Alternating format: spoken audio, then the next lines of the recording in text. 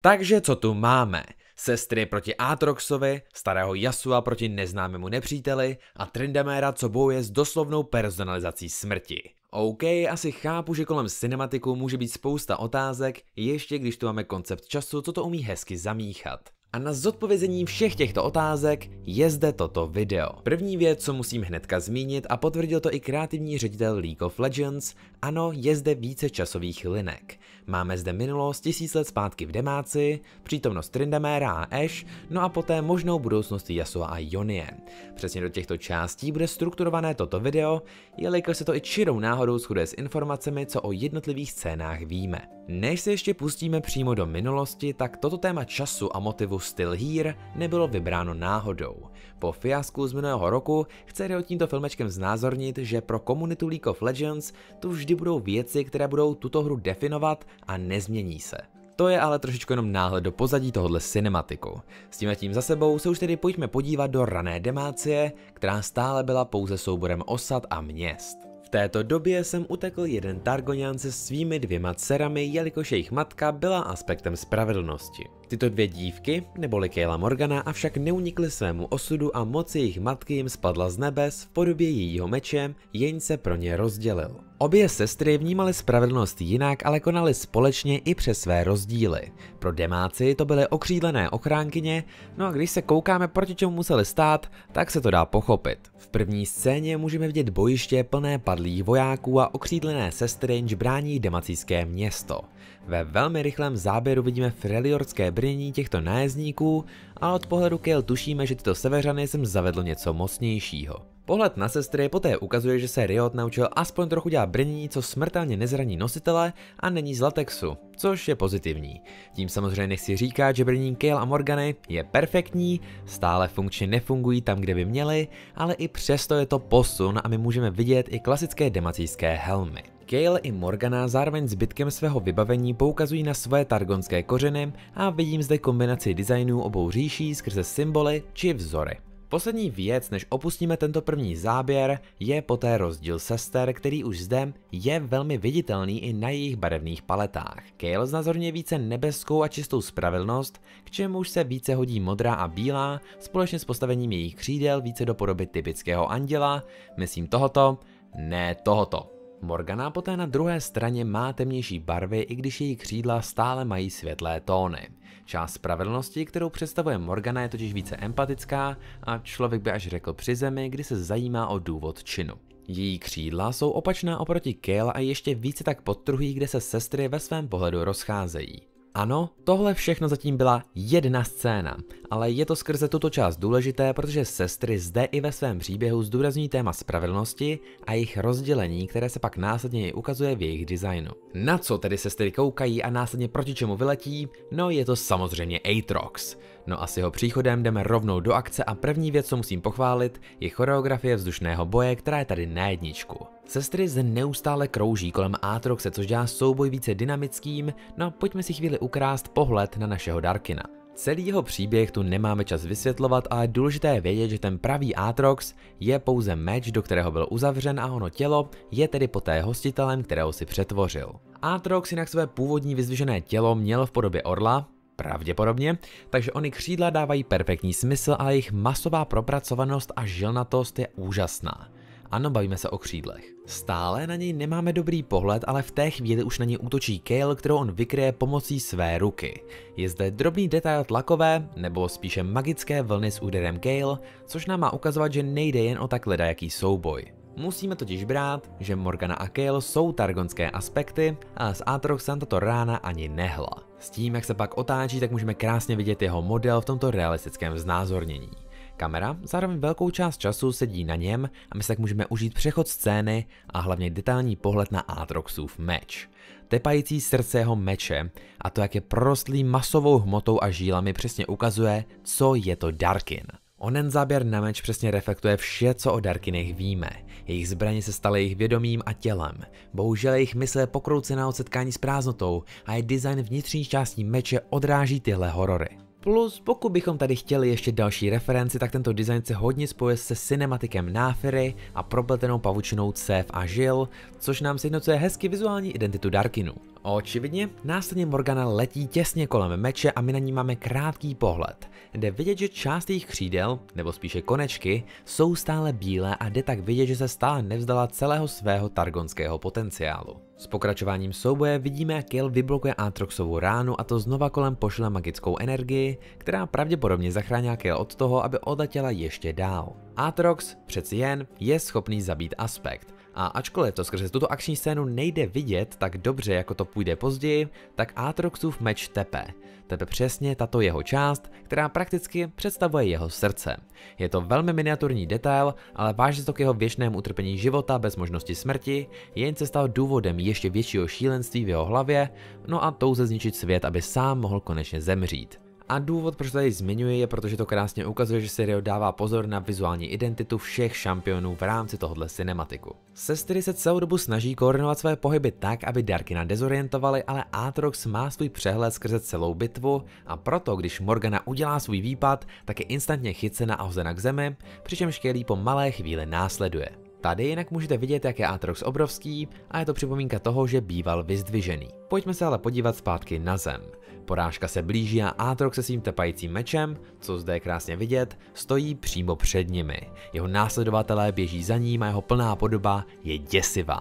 Jsou zde schované skvělé detaily jako prach, co vyhodí jeho meč, když je vytazen ze země, nebo světlo, co pouze částečně prochází jeho křídly a důležité je zde si všimnout křídel Morgany. Ty jsou o trochu tmavší, aspoň jejich konečka, i když miniaturně, tak nám to ukazuje její mentalitu, nebo spíše posun její mentality. Její nebeská moc tady nepomůže a její dědictví není důležitější než potrestání Aatroxe. Svůj meč, symbol Targonu a její matky, tak zabodne do země, u čehož si sundává i helmu. Kelly zde pozoruje a její reakce bude důležitá za chvíli. Proč? No protože Morgana použije temnou magii, do které se plně napojí a vyvolá řetězy, které ji tak moc symbolizují v moderní době. Celá tahle proměna vyzařuje moc a bolest, kterou jí to způsobuje a tyhle řetězy dokážou Aatroxe, i kdyby jen na moment, zastavit. Až ironie, jako aspekty uvězňují už po druhé a on celou svojí mocí proti tomu bojuje, u čehož dokonce můžete vidět zorničky v jeho oranžových očích. Přesouváme se ale ke Kale, co má obě poloviny meče své matky. Morgana v bolestech a s využitím vší své moci drží Aatroxe, ale jde vidět, že její řetězy brzo prasknou pod čistou mocí Darkina. Jizvy rostou skrze obličej Morgany a její bolest je zde naanimovaná božsky. Ale obličej Kale tady ukazuje znechucení. Proč říkáte si, když její sestra jim pomáhá vyhrát? To je prosté. Kill znázorně Targo na nebeskou spravedlnost. Temná magie a dokonce i zahození meče její sestry jenom dokazuje propast, co mezi nimi vyrostla a rozdíl v jejich přístupu a mentalitě. Kale zde perfektně ukazuje, že je spravedlnost, ale chladná a necitelná.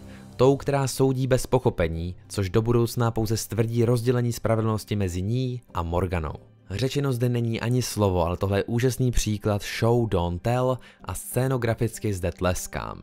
Kale poté ještě více pozvedne svoji podobu, nebo hit na level 16, a s nebeským plamenem ve formě X, jak prosekne svými meči, potrestá Aatroxe, jehož hostitel schoří v plamenech. Aatrox zde nezemřel avšak úplně a proto v těchto plamenech následně vidíme pouze stíny něčeho, co bych přirovnal ke Kindred, ale může to být něco jiného. Celkově skvělé ukázání toho, proč je symbolika okřídlených ochránkin tak důležitá pro demáci a zároveň s tím je ukázaný konflikt, který mezi Kale a Morganou do budoucna vznikne. Je však čas se přesunout do chladné zimy, kdy Tryndamere už nejspíš nějakou dobu bojuje proti jak to vypadá klanu Winter's Claw.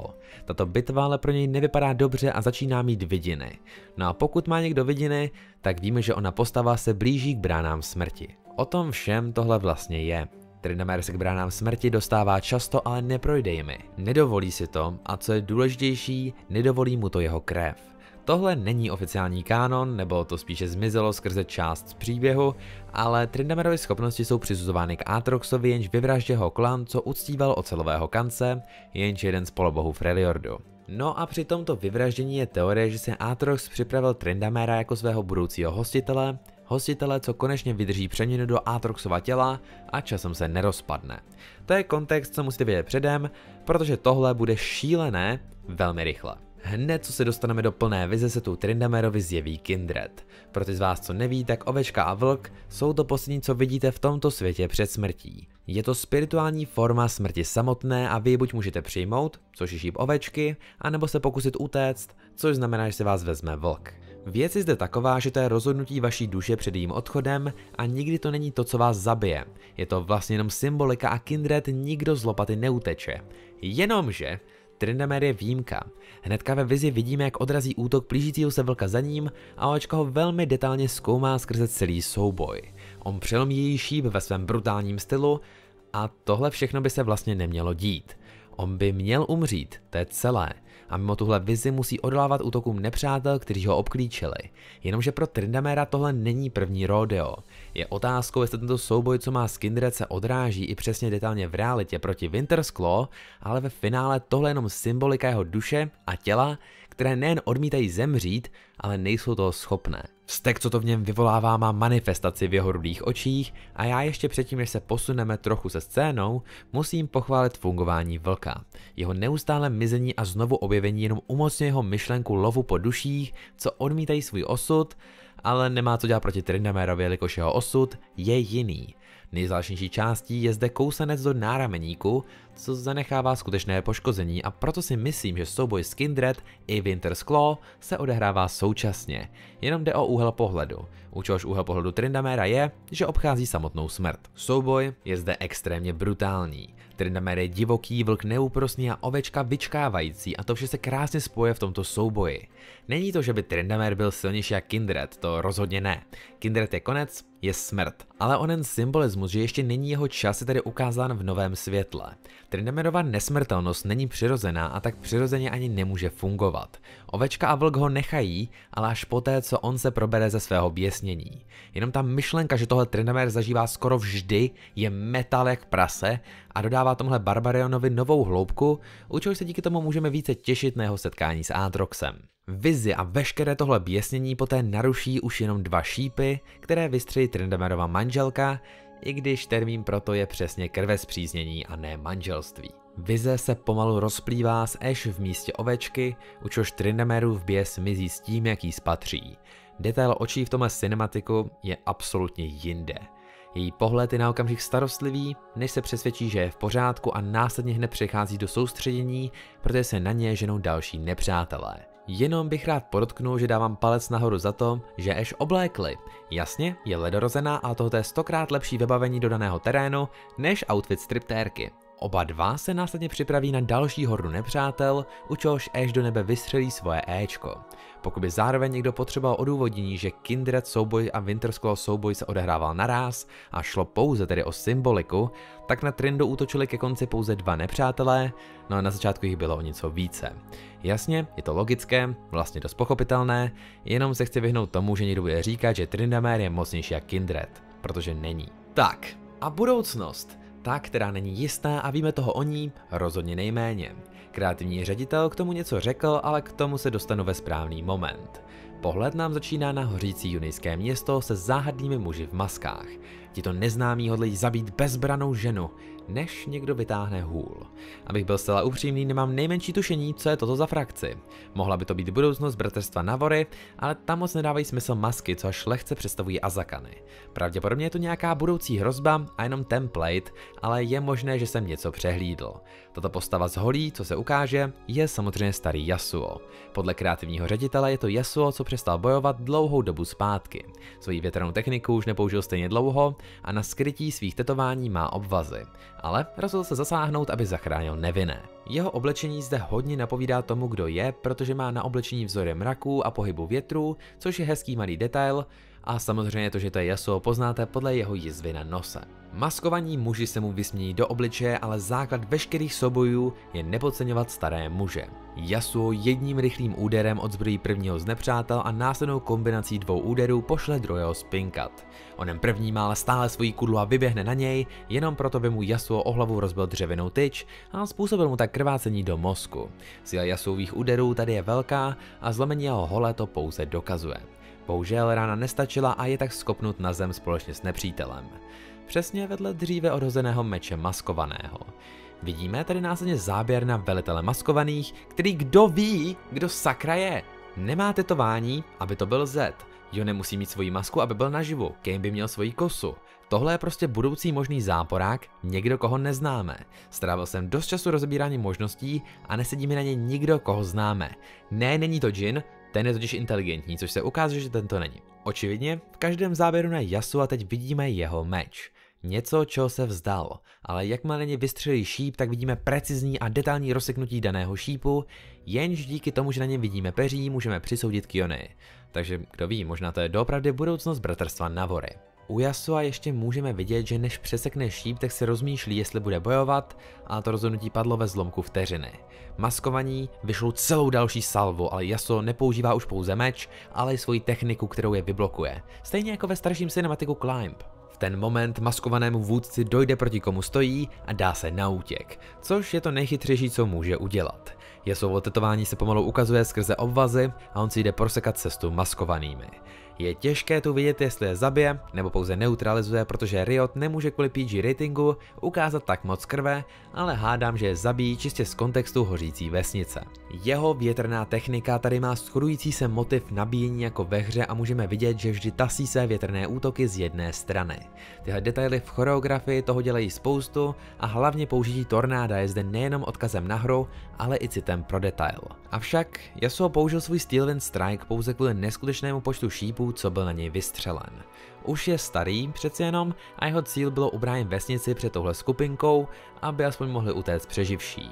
V následném pohledu do lesa vidíme vlka v silotě stromů. Vlk znázorňuje, co se stane, pokud Yasuo bude utíkat, jako to dělal celý svůj život a jde vidět, že nad tím Yasuo přemýšlí. Avšak, jako správný Joniec svůj osud přijme a tak mezi všemi těmi šípy můžeme vidět jeden zářivě bílý. Ovečka si v budoucnu vzala Yasua poté, co přijal svůj smrt a zachránil přeživší vesnice. Celá akce s Yasuem se táhne s respektem k jeho charakteru. Není to definovaná budoucnost, ale on utíkal od té doby, co na ní byla hozena smrt jeho mistra. I poté, co byl očištěn, utíkal sám před sebou. A jednou mu tak prostě došla síla utíkat. Už nechtěl bojovat, ale když to znamenalo zachránit ty nevinné, tak opět vzal meč a vítr do svých rukou. Z celého tohoto cinematiku prostě září láska k postavám a respekt jejich charakterům. Myšlenka Still Here tu není jenom pro lolko, ale i pro ně.